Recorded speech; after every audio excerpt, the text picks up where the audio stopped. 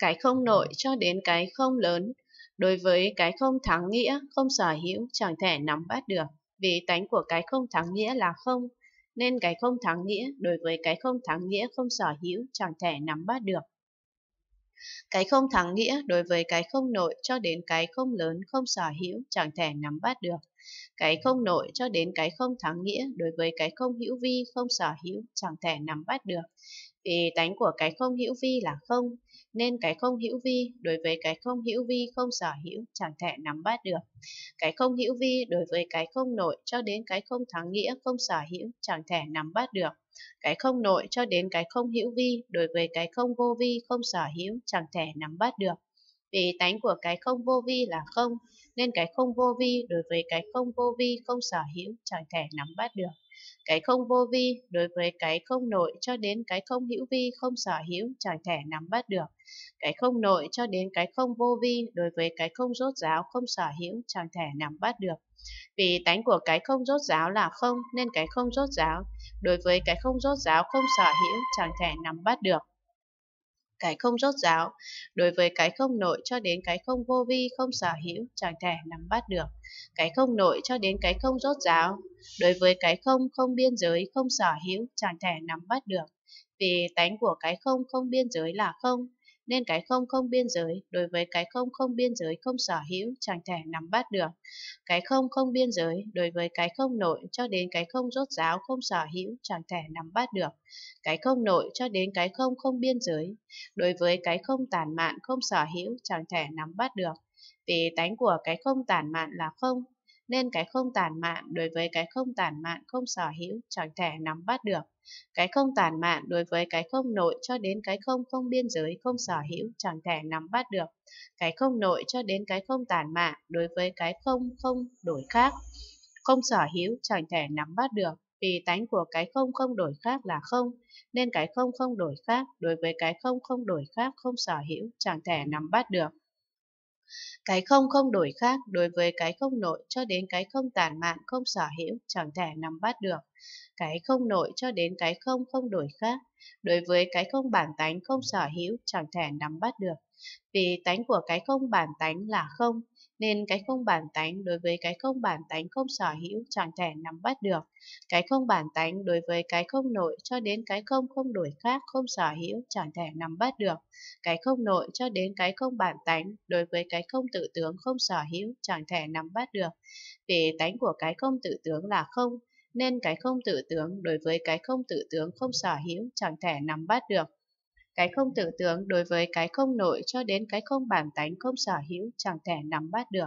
Cái không nội cho đến cái không tự tướng đối với cái không cộng tướng không sở hữu chẳng thể nắm bắt được. Vì tánh của cái không cộng tướng là không, nên cái không cộng tướng đối với cái không cộng tướng không sở hữu chẳng thể nắm bắt được. Cái không cộng tướng đối với cái không nội cho đến cái không tự tướng không sở hữu chẳng thể nắm bắt được cái không nội cho đến cái không cộng tướng đối với cái không tất cả pháp không sở hữu chẳng thể nắm bắt được. Vì tánh của cái không tất cả pháp là không, nên cái không tất cả pháp đối với cái không tất cả pháp không sở hữu chẳng thể nắm bắt được. Cái không tất cả pháp đối với cái không nội cho đến cái không cộng tướng không sở hữu chẳng thể nắm bắt được. Cái không nội cho đến cái không tất cả pháp đối với cái không chẳng thể nắm bắt được, không sở hữu chẳng thể nắm bắt được.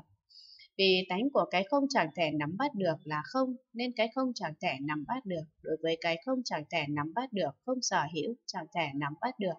Cái không chẳng thể nắm bắt được, đối với cái không nội cho đến cái không tất cả pháp không sở hữu, chẳng thể nắm bắt được. Cái không nội cho đến cái không chẳng thể nắm bắt được, đối với cái không không tánh, không sở hữu, chẳng thể nắm bắt được.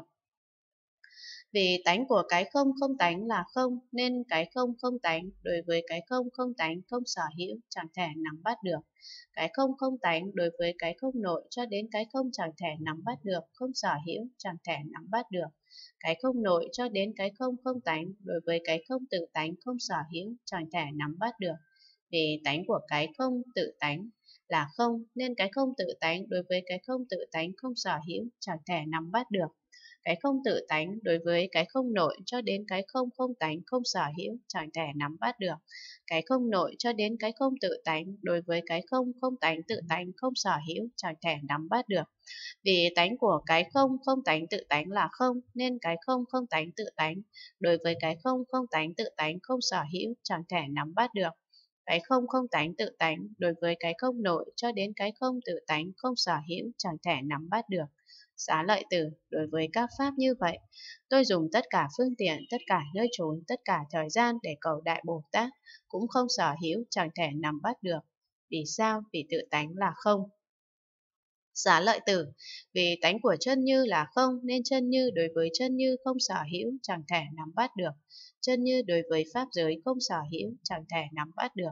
Vì tánh của pháp giới là không nên pháp giới đối với pháp giới không sở hữu chẳng thể nắm bắt được. Pháp giới đối với chân như không sở hữu chẳng thể nắm bắt được. Chân như pháp giới đối với pháp tánh không sở hữu, chẳng thể nắm bắt được. Vì tánh của pháp tánh là không, nên pháp tánh đối với pháp tánh không sở hữu, chẳng thể nắm bắt được.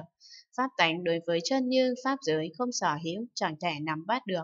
Chân như pháp giới, pháp tánh đối với tánh chẳng hư vọng không sở hữu, chẳng thể nắm bắt được. Vì tánh của tánh chẳng hư vọng là không, nên tánh chẳng hư vọng đối với tánh chẳng hư vọng không sở hữu, chẳng thể nắm bắt được tánh chẳng hư vọng đối với chân như pháp giới, pháp tánh không sở hữu, chẳng thể nắm bắt được. Chân như cho đến tánh chẳng hư vọng, đối với tánh chẳng đổi khác không sở hữu, chẳng thể nắm bắt được. Vì tánh của tánh chẳng đổi khác là không, nên tánh chẳng đổi khác đối với tánh chẳng đổi khác không sở hữu, chẳng thể nắm bắt được. Tánh chẳng đổi khác đối với chân như cho đến tánh chẳng hư vọng không sở hữu, chẳng thể nắm bắt được. Trơn như cho đến tánh chẳng đổi khác đối với cảnh giới bất tư nghỉ không sở hữu, chẳng thể nắm bắt được. Vì tánh của cảnh giới bất tư nghỉ là không, nên cảnh giới bất tư nghỉ đối với cảnh giới bất tư nghỉ không sở hữu, chẳng thể nắm bắt được. Cảnh giới bất tư nghỉ đối với chân như, cho đến tánh chẳng đổi khác không sở hữu, chẳng thể nắm bắt được. Chân như cho đến cảnh giới bất tư nghỉ đối với cảnh giới hư không không sở hữu, chẳng thể nắm bắt được. Vì tánh của cảnh giới hư không là không, nên cảnh giới hư không đối với cảnh giới hư không không sở hữu, chẳng thể nắm bắt được. Cảnh giới hư không đối với chân như cho đến cảnh giới bất tư nghỉ không sở hữu, chẳng thể nắm bắt được. Chân như cho đến cảnh giới hư không, đối với cảnh giới đoạn không sở hữu, chẳng thể nắm bắt được. Vì tánh của cảnh giới đoạn là không, nên cảnh giới đoạn đối với cảnh giới đoạn không sở hữu, chẳng thể nắm bắt được. Cảnh giới đoạn đối với chân như cho đến cảnh giới hư không không sở hữu chẳng thể nắm bắt được. Chân như cho đến cảnh giới đoạn đối với cảnh giới ly không sở hữu chẳng thể nắm bắt được. Vì tánh của cảnh giới ly là không nên cảnh giới ly đối với cảnh giới ly không sở hữu chẳng thể nắm bắt được. Cảnh giới ly đối với chân như cho đến cảnh giới đoạn không sở hữu chẳng thể nắm bắt được. Chân như cho đến cảnh giới ly đối với cảnh giới diệt không sở hữu chẳng thể nắm bắt được. Vì tánh của cảnh giới diệt là không, nên cảnh giới diệt đối với cảnh giới diệt không sở hữu, chẳng thể nắm bắt được. Cảnh giới diệt đối với chân như cho đến cảnh giới ly không sở hữu, chẳng thể nắm bắt được. Chân như cho đến cảnh giới diệt đối với tánh bình đẳng không sở hữu, chẳng thể nắm bắt được. Vì tánh của tánh bình đẳng là không, nên tánh bình đẳng đối với tánh bình đẳng không sở hữu, chẳng thể nắm bắt được. Tánh bình đẳng đối với chân như cho đến cảnh giới diệt không sở hữu, chẳng thể nắm bắt được chân như cho đến tánh bình đẳng đối với tánh ly sanh không sở hữu, chẳng thể nắm bắt được. Vì tánh của tánh ly sanh là không, nên tánh ly sanh đối với tánh ly sanh không sở hữu, chẳng thể nắm bắt được. Tánh ly sanh đối với chân như cho đến tánh bình đẳng không sở hữu, chẳng thể nắm bắt được. Chân như cho đến tánh ly sanh đối với pháp định không sở hữu, chẳng thể nắm bắt được. Vì tánh của pháp định là không, nên pháp định đối với pháp định không sở hữu, chẳng thể nắm bắt được xác định đối với chân như cho đến tánh ly sanh không sở hữu, chẳng thể nắm bắt được. Chân như cho đến pháp định đối với pháp trụ không sở hữu, chẳng thể nắm bắt được. Vì tánh của pháp trụ là không, nên pháp trụ đối với pháp trụ không sở hữu chẳng thể nắm bắt được. Pháp trụ đối với chân như cho đến pháp định không sở hữu chẳng thể nắm bắt được. Chân như cho đến pháp trụ đối với cảnh giới vô tánh không sở hữu chẳng thể nắm bắt được. Vì tánh của cảnh giới vô tánh là không nên cảnh giới vô tánh đối với cảnh giới vô tánh không sở hữu chẳng thể nắm bắt được. Cảnh giới vô tánh đối với chân như cho đến pháp trụ không sở hữu chẳng thể nắm bắt được chân như cho đến cảnh giới vô tánh, đối với cảnh giới vô tướng, không sở hữu, chẳng thể nắm bắt được. Vì tánh của cảnh giới vô tướng là không, nên cảnh giới vô tướng đối với cảnh giới vô tướng không sở hữu, chẳng thể nắm bắt được. Cảnh giới vô tướng đối với chân như cho đến cảnh giới vô tánh không sở hữu, chẳng thể nắm bắt được chân như cho đến cảnh giới vô tướng, đối với cảnh giới vô tác không sở hữu, chẳng thể nắm bắt được.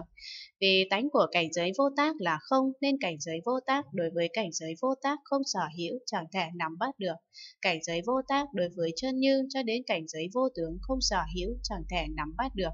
Chân như cho đến cảnh giới vô tác đối với cảnh giới vô vi không sở hữu, chẳng thể nắm bắt được. Vì tánh của cảnh giới vô vi là không, nên cảnh giới vô vi đối với cảnh giới vô vi không sở hữu, chẳng thể nắm bắt được. Cảnh giới vô vi đối với chân như, cho đến cảnh giới vô tác không sở hữu, chẳng thể nắm bắt được. Chân như cho đến cảnh giới vô vi đối với cảnh giới an ổn không sở hữu, chẳng thể nắm bắt được. Vì tánh của cảnh giới an ổn là không, nên cảnh giới an ổn đối với cảnh giới an ổn không sở hữu, chẳng thể nắm bắt được. Cảnh giới an ổn đối với chân như cho đến cảnh giới vô vi không sở hữu chẳng thể nắm bắt được. Chân như cho đến cảnh giới an ổn, đối với cảnh giới tịch tịnh không sở hữu chẳng thể nắm bắt được. Vì tánh của cảnh giới tịch tịnh là không nên cảnh giới tịch tịnh đối với cảnh giới tịch tịnh không sở hữu chẳng thể nắm bắt được.